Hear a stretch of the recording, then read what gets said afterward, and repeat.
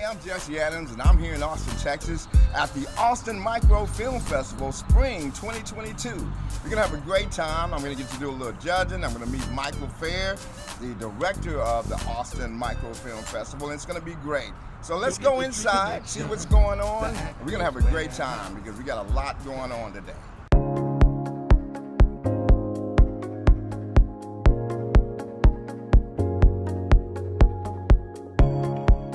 So excited to be here in Austin, Texas, right? With my best friend, man, Mikel Fair, at the Austin Micro Film Festival this spring 2022. Well, you know, Mikel can tell you better than I can about the festival and everything that's going on, so I'll let him tell you. Go ahead, Mikel. Thank you for coming, Jesse. Hey. I appreciate you. I know Jesse about 15 years already, uh, if not more, which just makes me look older. So, but anyway, the Austin Microfilm Festival. This is our spring 2022 edition. We usually have the festival two times a year. We hope to have it three times this year.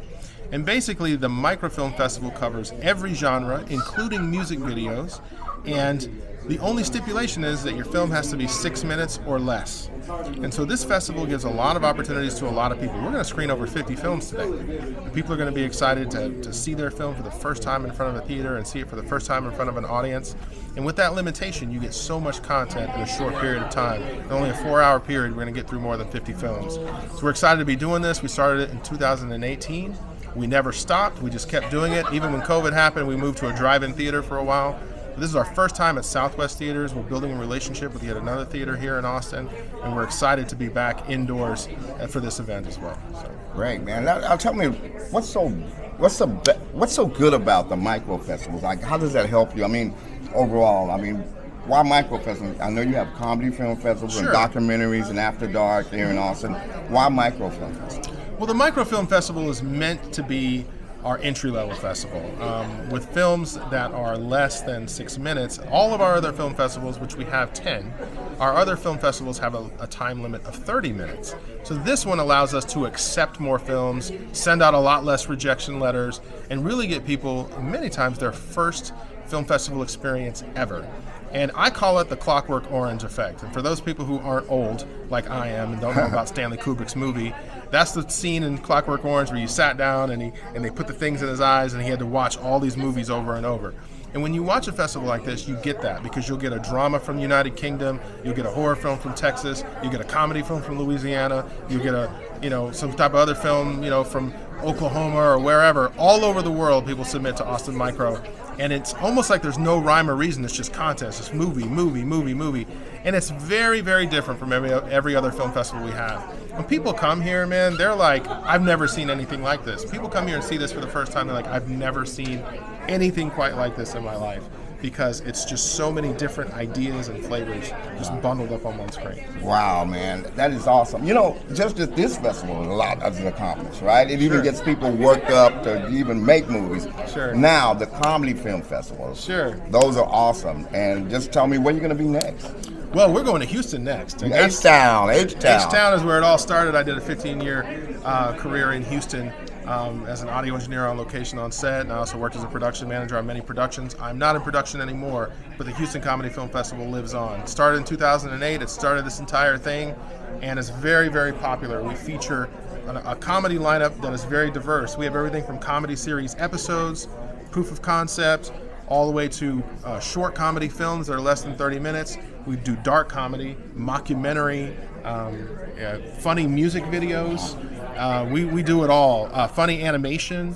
Um, so we really get around with all different types of comedy Houston Comedy Film Festival. We're really excited to always go back to the to the main one, to the love, to where it started. So Wow. Yeah. Now I hear you come back to Austin in May, right? And that's a little bit different, right? That's a type. Is it the same? I know it's comedy and After Dark. Can you explain After Dark a little? Yes, I can. And the reason why, so I was living in Houston and I was working in a long time, and then I, I got an opportunity to work in post production in Austin, so I moved. So the whole idea was let's open up this Austin Comedy Film Festival and close down Houston because I don't live there anymore. Mm-hmm. and I don't want to drive. Right. Well, the day I go to close the Houston Comedy Film Festival, we got ranked in the top 100 Oh. of film festivals in the entire world. There you go. So couldn't close that. That wasn't going to work. So we kept Austin and Houston going. Austin, we have always done short film festival or you know short films in Austin. At the time, Houston actually did feature films as well, and uh, Austin was a little bit different because the judges are so different. Um, Right. The judges pick just completely different films than they do in Houston. It's just a different group.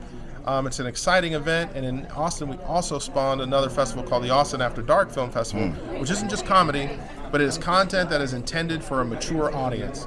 Um, we feel like that type of content is upper, underrepresented at a lot of mainstream film festivals because if you're at a huge, you know, popular film festival with a room full of people, you don't want to show films that have, you know, blood or, or maybe uh, scenes that are inappropriate for children or may deal with, um, you know, certain things. There's sex in some of the movies. Nothing is like pornographic or anything like that, but we do have scenes where there's some partial nudity or people get killed or things like that, or car accidents or traumatic situations and excuse me, and we cover science fiction, drama, um, horror films, um, suspense, uh, dark animation type of stuff that you'd see on uh, Adult Swim, uh, dark comedies, things like that. So Austin After Dark is very, very different.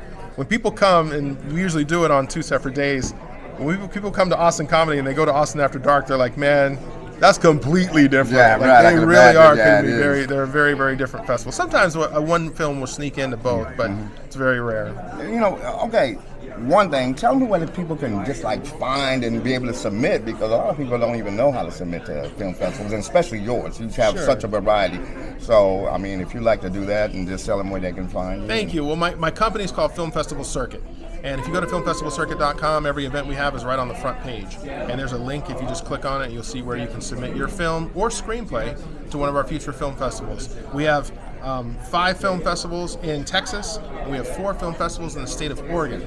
So we operate in both markets, and we are adding a new one in Texas very soon, probably in San Antonio. Yes. Um, and that'll be coming up soon. That'll be our 10th event. Wow, awesome.